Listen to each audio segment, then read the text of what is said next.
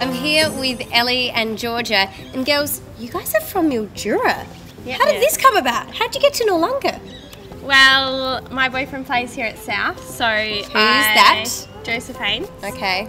So Hi, Joseph.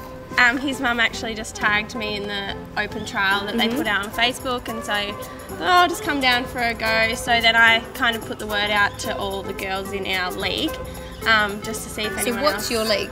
So we're in the Millewa League. Yep. Um, so we've got six teams in our Mm-hmm. league, but saying that quite a few of them have only been in there for a year or so, so it's really new. So then George jumped on board Mm-hmm. and came down. But when you say come down, it's not just, you know, a 20 minute drive. How long do you take? Like, what's your time commitment here?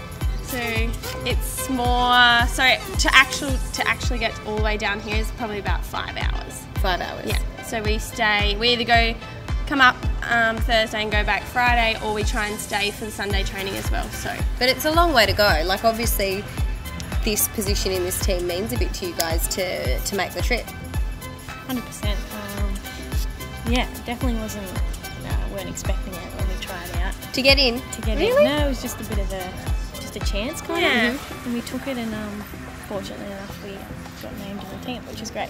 It's awesome. So it definitely means a lot to both of us. Yeah. I think where we want to go with footy. Yeah, awesome. And Jorja, you've got a bit of footy in your family, haven't you? Yeah. Your grandfather back in Mildura was quite a decorated football player, should we say? Yes. Yeah. Tell me a um, little bit about him.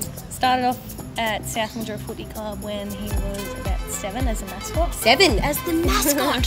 what a way to start. Yeah. Lost his eye when he was eight. Oh gosh, he's how'd that happen? Uh, a bike spoke went through his eye. Oh, ooh, okay. And then he got told he would never play footy. Yeah. Um, started playing under 16s. Got his first gig in the seniors at 17.